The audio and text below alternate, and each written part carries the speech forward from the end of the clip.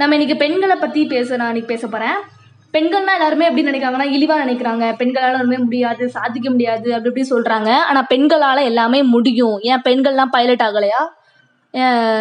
Aeroplane ஓட்டலையா? இல்லை driver ஆகலையா? எல்லாமே இப்போ பெண்கள்ங்கிறது சமய சமுதாயத்தில் எல்லாருமே இருந்துட்டு தான் இருக்காங்க. இப்போ நம்ம வந்து பெண்களை பற்றி தான் பார்க்க போகிறோம் பெண்கள் இழிவானவங்களா இல்லை நல்லவங்களான்னு இப்போ வீடியோவில் தெரியும். வாங்க போகலாம் திமிரா இருக்கும் பெண்கள் என்பார்கள் யார்? திமிர் என்றால் என்ன? ஏன் பெண்கள் திமிரா நடந்து கொள்ள வேண்டும்? திமிர் என்றால் மதியாமை என்று சொல்ல முடியும். யாருக்கும் அடங்கி போக முடியாத பெண்கள் திமிர் பிடித்த பெண்கள் என்று சொல்லுவது வழக்கம். திமிர் பிடித்த பெண்கள் என்பவர்கள் யார்? அவர்களிடத்தில் ஒரு குறிப்பிட்ட நேரம் மட்டும்தான் பேச முடியும். அவர்களிடத்தில் தேவையில்லாத போது ஒரு கேள்வி கேட்டால் அதற்கு மதிப்பு கொடுக்காமல் நகர்ந்து விடுவார்கள். அவர்களிடத்தில் ஒரு நேர்மை உண்மை சத்தியம் இருப்பதால் தானாவே தைரியம் சேர்ந்து கொள்ளும் என்பது குறிப்பிடத்தக்கது. ஆண்களை விட எல்லா பெண்களும் மனதளவிலும் பலமானவர்கள். அதை உணராத பெண்கள் பலவீனமானவர்கள். தன்னைத்தானே புரிந்து கொண்டு தனக்கான வரைபடத்தை வரைந்தவள் தான் பெண் என்பவள். அவளுக்கு பெயர் திமிர் பிடிச்சவள் என தூற்றும் சமூகம் அதுவே ஆண் என்றால் ஆகா என்ன துணிச்சலான ஆண்மகன் என போற்றும் சமூகம்.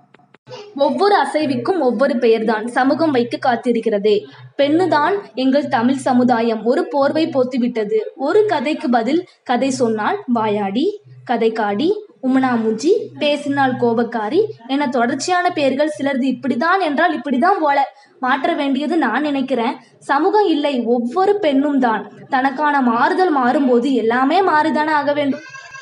கட்டினவன் சரியில்லை என்ற போதிலும் அவள் பெண்மையை பாதுகாத்துக் கொள்ள ஒவ்வொரு பெண்ணும் இவ்வாறுதான் போராடி கொண்டிருக்கிறார்கள். பெண்களுடைய தைரியங்களுக்கு ஆண்கள் அகராதியில் என்ன பெயர் தெரியுமா? திமிர் என பெயரிடப்பட்டுள்ளது. திமிரா இருக்கும் பெண்களை எனக்கு பிடிக்கும். ஏனென்றால் அவர்கள்தான் ஆண்களை விட பலமானவர்கள். அவர்களின் கோபத்திற்குள் தான் நளினம் ஒளிந்திருக்கும். அதனால்தான் ரசனையில் வெறுப்பு ஏற்படாது. தனக்கு ஏற்றதான ஆடைகளை அணிவார்கள்.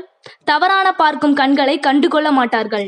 எல்லாரும் சொல்லும் கருத்துக்களை ஒரு பொம்மை போல் தலையாட்டி கொண்டு கொண்டு இருந்துவிட்டு அதற்கு எதிரான கருத்து அல்லது தனக்கு எது சரி என்று படுகிறதோ அதே கண்ணை மூடிக்கொண்டு செய்துவிட்டு போய்க்கொண்டே இருப்பார்கள் என்பது ஒரு பெரிய உண்மை.